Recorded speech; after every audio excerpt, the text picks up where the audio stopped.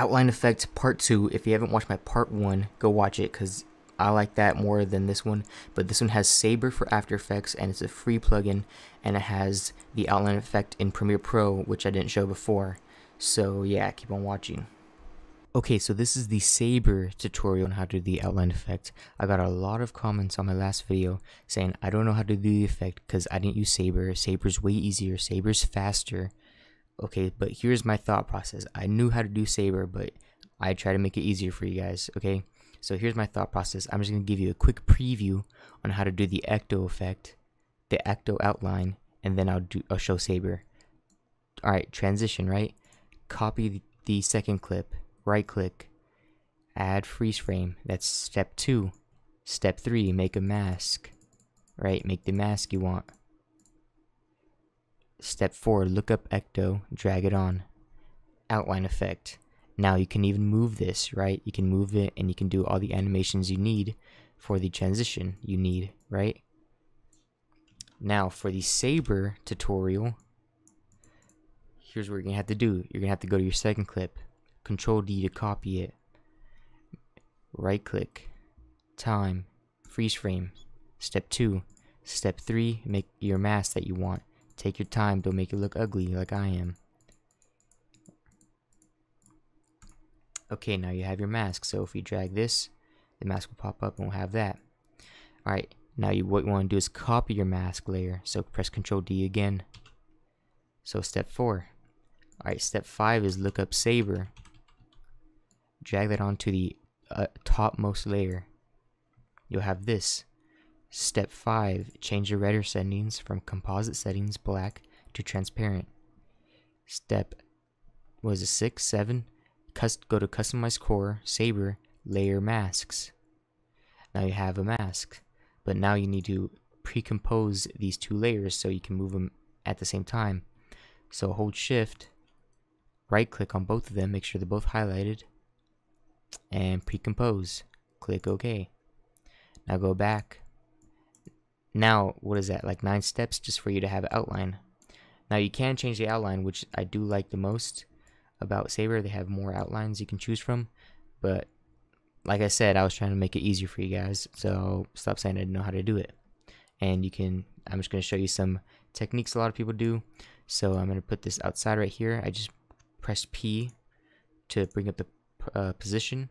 And I just move it to the side. So I'm going to keyframe that. I'm going to go to the end. And I think it was 960, right? So we'll have this transition.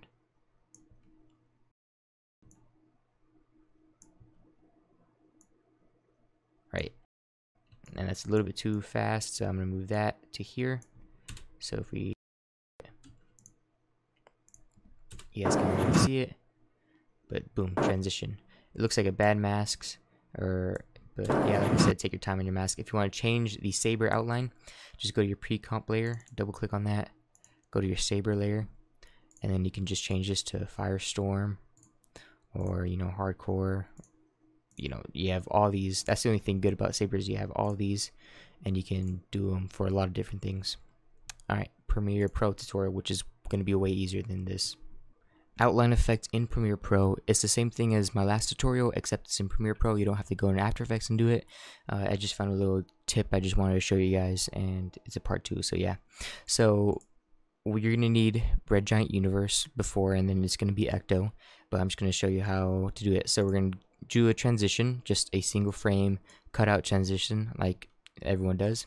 So you want to go to the first frame of our second clip here. You're going to want to hold Alt on your keyboard, drag this up, it'll copy it. Right click on the top clip, um, go to add right here, add frame hold, do that. And then now it should be a still image. Go to the first frame, uh, open up effect controls on the first frame, opacity, pen tool, and make a mask like we always do. Now take your time on it, but you guys don't want to see me do this, so I'm not going to take my time on it. And you really don't have to take your time on it since we're applying the outline effect. Um, the outline will kind of cover a lot of things. So I see a lot of people doing lazy masks, masks, but you know that's up to you on what you want to do. Alright, so now if we have that, we'll have the video underneath and we'll have a still frame as you can see. Now we're gonna make the transition. So it's a 24 frame sequence settings. So I'm gonna go 10 frames to the left. You can hold, I don't know, 1, 2, 3, 4, 5, 6, 7, 8, 9, 10. Do that.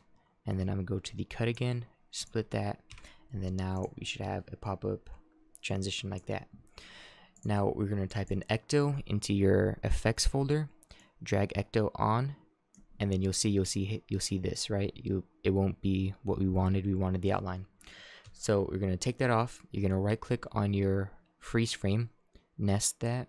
So right click and click nest, and then you can drag Ecto on, and then you'll have the Ecto plugin. Uh, here's some uh, regular things a lot of people do. So you can go back to the effect controls on this nested layer. You can change the position, so keyframe that. Uh, move him off screen in the first keyframe, and then at the end, you can. I just click this little button right here, and then he'll fly into position. Or a lot of people like to add like a crazy twitch. You you can use transform on that. Here, let me delete this uh, they, they, they like to add a crazy twi twitch first and then he pops up a lot a lot of people like to use transform but I have my preset so if we look at it it'll be a twitch something like that and it comes up but they don't even make it that small they just do this so if I do that and then at the end Come on. Sorry, I put 4K footage in. And then I make this down to zero. If we do that, it should... Here, let me do this so you guys can see. It should be like that, which you see in a lot in your videos. Yeah, that's basically it. Like and subscribe. Follow my channel. I might have another channel already when this video comes out, so go follow that. I'm posting music videos my music videos and music I listen to. Alright, peace out later.